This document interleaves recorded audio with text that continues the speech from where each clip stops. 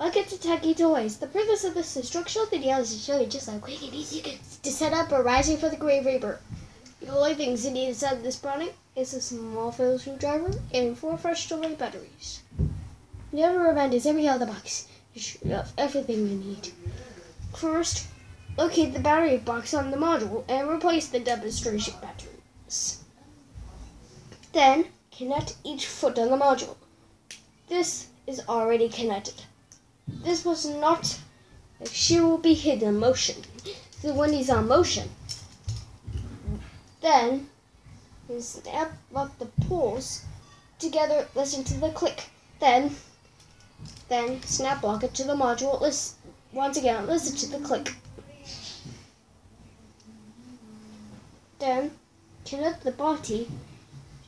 Once it's connected on the bo- uh, on the neck to the pole.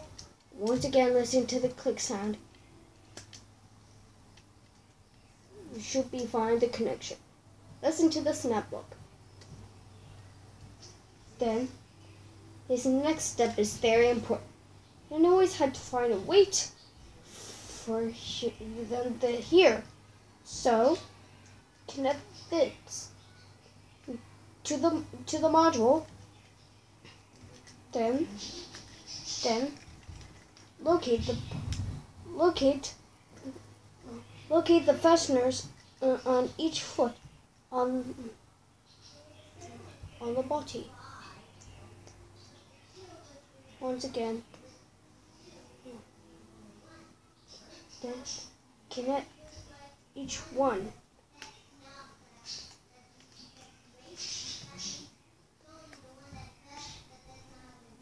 Then the last one would be what we want again. It should be around it before it. Then locate the switch on the module and turn on Rising for the Grave Reaper by Sonic Control and Remote Control.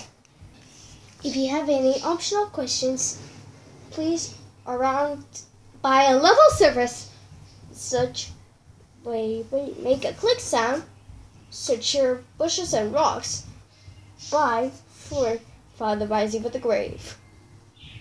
Then, then use by sound or motion, you just make a loud sound such as a clap.